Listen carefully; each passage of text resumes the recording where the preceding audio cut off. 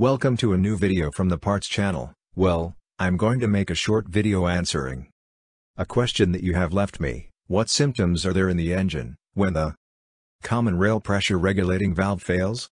Main symptoms that the engine does not start.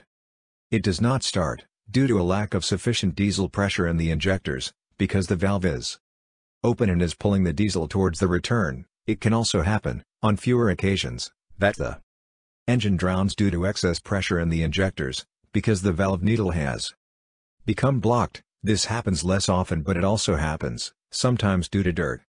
Unstable idling in the engine, the car jerks because the valve opens and closes the diesel return erratically, and then the optimal stoichiometric mixture is not reached.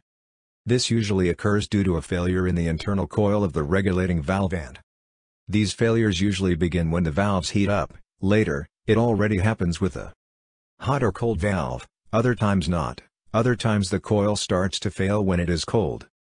But normally it starts to fail when it is hot, it can also happen that you notice sudden engine acceleration and also loss of power, these are the main symptoms that there is a failure with the common rail pressure regulating valve, and sometimes these failures are blamed on the valve, but it would be necessary to look because it can also be a failure of the ECU itself, which is the one that gives it the commands in the form of voltage, opening and closing.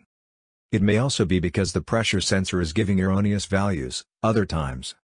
Simply, because not enough fuel pressure is reaching the common rail rail due to an obstruction due to dirt. Well, here you have this short video. If it has been useful to you, then do not forget to give it a like and subscribe to the channel.